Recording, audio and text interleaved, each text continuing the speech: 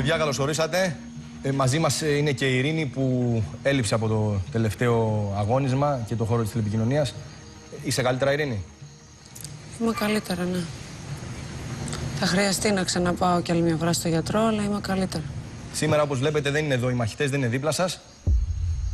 Σήμερα θα ξεφύγουμε από την φυσιολογική ροή του παιχνιδιού. Μάλιστα, να το πω διαφορετικά, σήμερα σας μάζεψα εδώ για κάτι πολύ πιο σημαντικό από οποιοδήποτε survivor και από οποιοδήποτε παιχνίδι.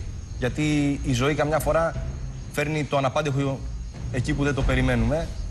Θέλω λοιπόν να σας πω ότι η ομάδα των μαχητών την τελευταία φορά μετά το τελευταίο αγώνισμα επικοινωνίας που είχαμε, τη στιγμή που εσείς πηγαίνατε με το σαφάρι που πηγαίνετε στο χώρο τηλεπικοινωνίας, αυτοί επιστρέφανε στην παραλία για να πάρουν το σκάφος.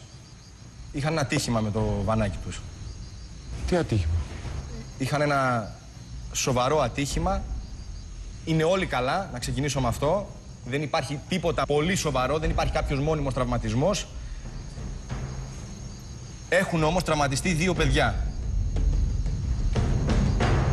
Η Ειρήνη Κολυδά και ο Μάριος Πρίαμος έχουν έναν τραυματισμό. Που ξαναλέω δεν είναι σοβαρός τραυματισμός. Είναι κάτι το οποίο με την πάροδο του χρόνου επανέρχεται σε φυσιολογικό επίπεδο.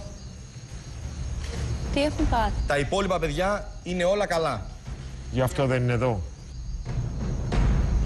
Γι' αυτό δεν είναι εδώ, γι' αυτό δεν είναι δίπλα μας σήμερα. Ε, θέλω να το ξαναπώ, να το επαναλάβω για να γίνει κατανοητόν. Τα παιδιά είχαν ένα τύχημα με, αυτό το, με το βανάκι την ώρα που πηγαίναν προς την παραλία. Αλλά επαναλαμβάνω και για σας αλλά και για τους τηλεθεατές, είναι όλοι καλά. Έχουμε ήδη μιλήσει με τις οικογένειές τους, έχουν μιλήσει και οι ίδιοι, έχουν ενημερώσει τους δικούς τους ανθρώπους. Προφανώς και δεν θα το μάθουν τώρα από την τηλεόραση. Ε, είναι κάτι αναπάντεχο. Πες μου Κώστα μου.